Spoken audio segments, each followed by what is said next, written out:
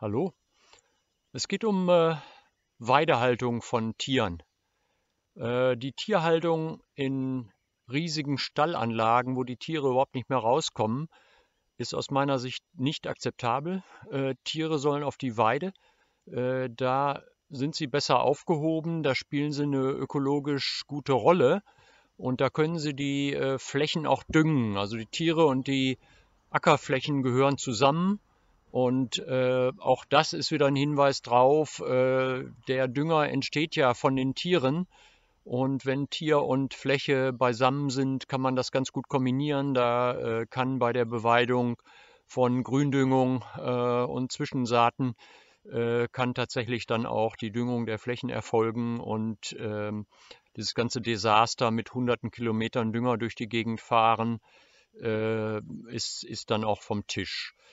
Ja, die Tierhaltung ähm, kann man durch äh, Rotationsbeweidung, Mobgrazing ähm, immer äh, auch so aufbauen, dass die Tiere äh, ja einfach die, die Böden verbessern. Und ähm, man kann das halt auch äh, kleinräumig machen. Äh, sogar hier, wo ich jetzt bin, das ist hier ein Nachbar, der äh, Schafe hält, die sehen zwar wie Ziegen aus, aber das sind Schafe.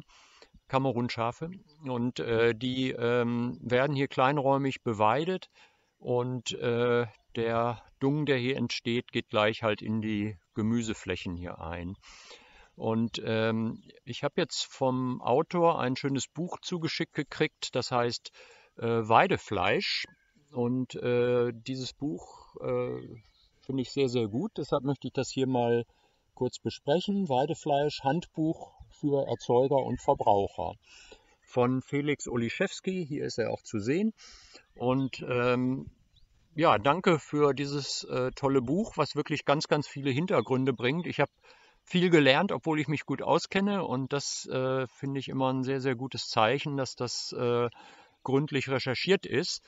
Äh, die Internetseite äh, zum Buch ist ähm, weidefleisch.org und äh, dort ist halt ein Netzwerk für Menschen, die da was machen wollen. Äh, das ist etwas, was die lokale Wirtschaft stärkt. Ähm, Verbraucher und Erzeuger kennen einander. Und äh, typischerweise wird Weidefleisch kleinräumig erzeugt und äh, von den Kunden aus der Umgebung abgenommen. Und ähm, es ist halt eine Sache, die ähm, ja sehr, sehr viele Vorteile hat und die ein zusätzliches Standbein sein kann äh, für die äh, ja, Betriebe. Äh, und die äh, Möglichkeiten, die da sind, sind sehr groß. Ähm, vielfach werden natürlich Rinder gehalten, Kühe, ähm, Schafe, Ziegen sind auch äh, üblich. Ähm, was weniger üblich ist, die Kombination. Also man kann tatsächlich nach ähm, den Rindern drei Tage später dann äh, Hühner in Mobilstellen über die Flächen äh, grasen lassen, weil die Parasiten dann gefressen werden. Parasiten sind ein großes Problem für Weidetiere und äh, die Hühner picken dann die Parasiten daraus und dann hat man so ein schönes äh, Gesamtsystem. Und äh, hier in dem Buch sind halt sehr viele Tipps drin über, wie macht man es, also damit man realistisch ist, äh, was so die Erwartungen äh, betrifft. Äh, es wird sich niemand da eine goldene Nase mit verdienen. Es ist eher so, dass eine vernünftige Arbeit einen vernünftigen Preis hat. Den Tieren kann es gut gehen. Und ganz wesentlich ist, dass dieser Transport, fürchterliche Transport zum Schlachthof wegfällt, was für die Tiere furchtbaren Stress bedeutet. Und wenn Tiere unter Stress äh, geschlachtet werden, sind diese Stresshormone im Fleisch und äh, machen äh, die Menschen auch ähm, ja, stressig, gestresst und äh, das ist halt alles nicht schön. Und äh, in dem Buch wird halt auch ganz klar dargestellt, dass der ähm, Weideschuss ähm, ideal ist, weil das Tier dann stressfrei stirbt.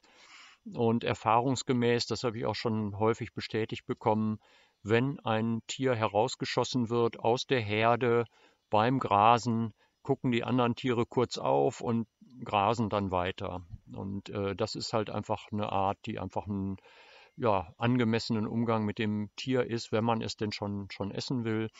Und ähm, die ja, einfach kleinräumige Haltung, lokale Wirtschaft, das ist das, was ich bevorzuge. Hinten sieht man hinter mir, hier sieht man auch so ein Hühnermobil noch.